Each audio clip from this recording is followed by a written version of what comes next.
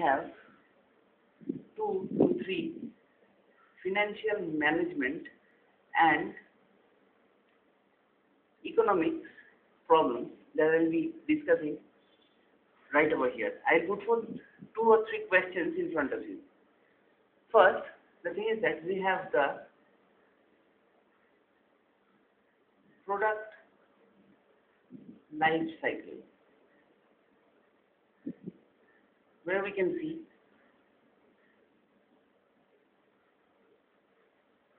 Product after it is being launched it reaches a maturity. It reaches the highest point of sale which is obviously known as the zenith and then starts declining. So we have this the sales line of the product product reaches the zenith and then gradually declines this happens with every product Consequently, we can see that along with the sales line, the company starts generating profit derived from the sales, but not from when the product was actually introduced. Profit generally generated after a few units of sale. Profit increases and declines too, just like the sales line of the product sales line. This is the profit of the profit line. Profit also reaches the zenith and falls down just like that of the product sales line. My question is, question number one is, why does profit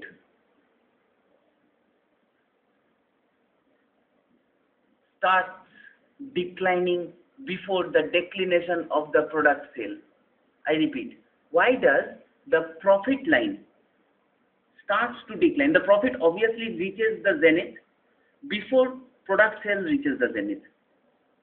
Consequently, pro profit line also falls down before the product sale falls down. My question is, why does profit reaches the zenith before the product sales line. Going further to my next question, we have that this difference, we call it x. The next question, my question two is, what is this difference known as?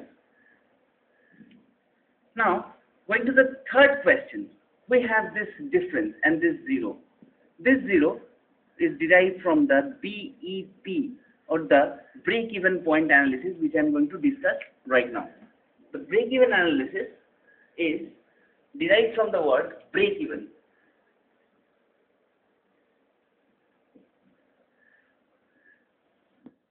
Where the company faces a no profit, no loss situation the company must continue to manufacture the product if there is a profit and may even shut it down if there is a loss. So we have the break-even point analysis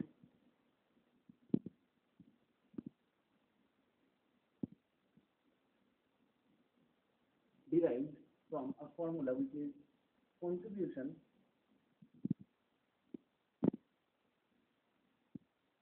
equivalent to sales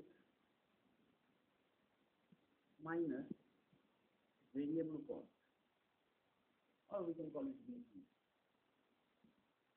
And this is formula number E and we have the total cost which comprises of total cost comprises of total variable cost and total fixed cost.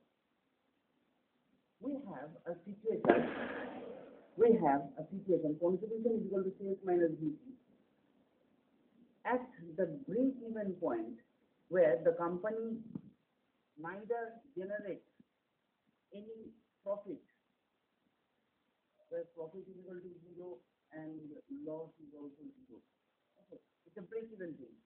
At the break-even point, at BEP, we have contribution uh, is equal to sales minus VC is equal to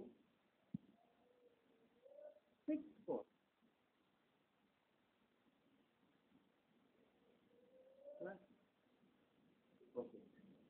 Since profit is a null factor, profit is a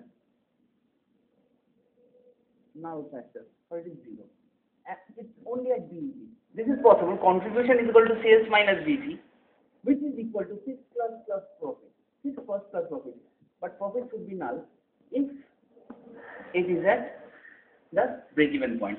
We will be drawing the break-even point analysis and I'll be explaining it to you.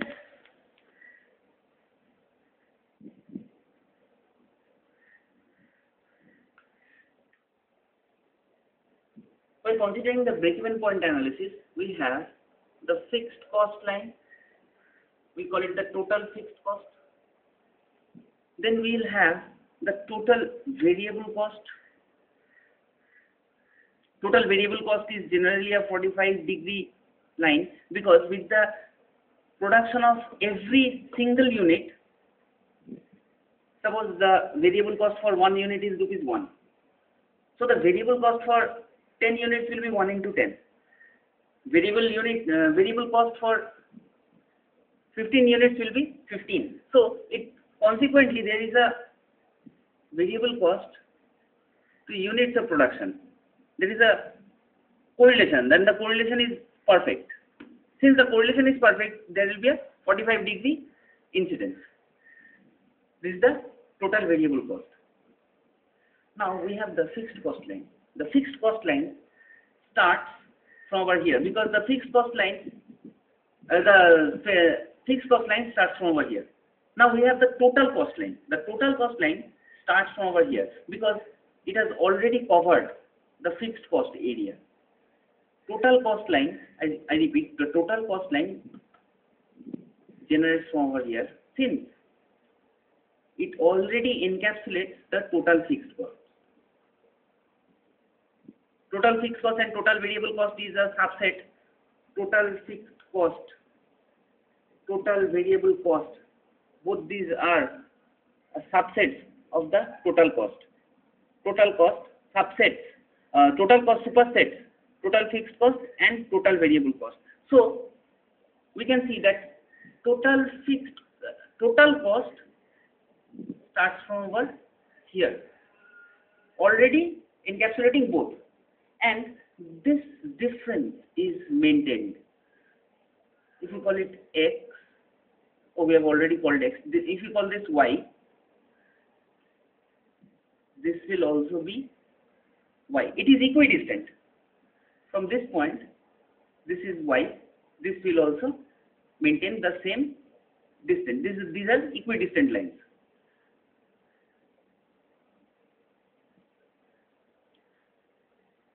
We have the sales. This is the sales line.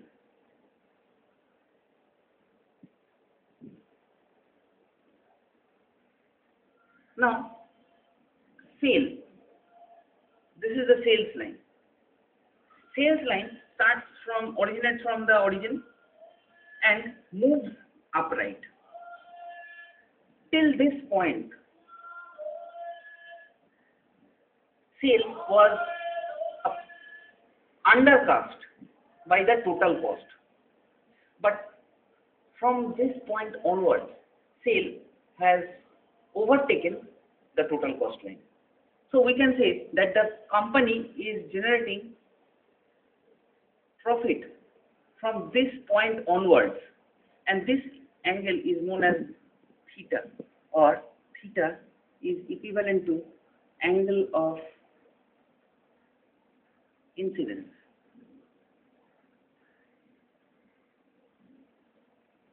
What incidence? It is the break-even point. Okay? Consequently, it is very much understandable that since this is profit, this portion would be loss. This is the break-even point we have the sales, total cost, total fixed cost. total variable cost. Now my question is, this is the next question, I guess the question number three. I'm not keeping track of the questions. This is question number three, I guess. This question is to the economists, is that a company starts generating super profit. The question is how to include super profit within this graph. I repeat, how to include or how to represent super profit within this graph. Thank you.